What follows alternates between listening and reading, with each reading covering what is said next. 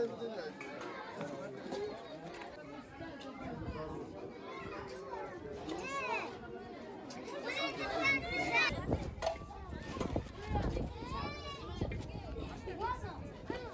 رغم الحصار ورغم سوء التغذية وفي أول شهر رمضان ورغم المجاعة في شمال غزة أطفالنا مش لاقيين حتى الآن يأكلوا. لا أكل ولا شرب ولا مي ولا طحين. جميع الأطفال هذول بحاجة إلى س- إلى تغذية وإلى دعم مالي ودعم إنساني. فمن ناشد جميع الدول العربية وجميع كل الضمائر الحية الرؤساء المسائل أيا كان له ضمير إنساني يراعي مشاعر الأطفال من حيث الجوع من حيث المجاعة اللي بتمر وإحنا مش لاقين حاجة ناكلها.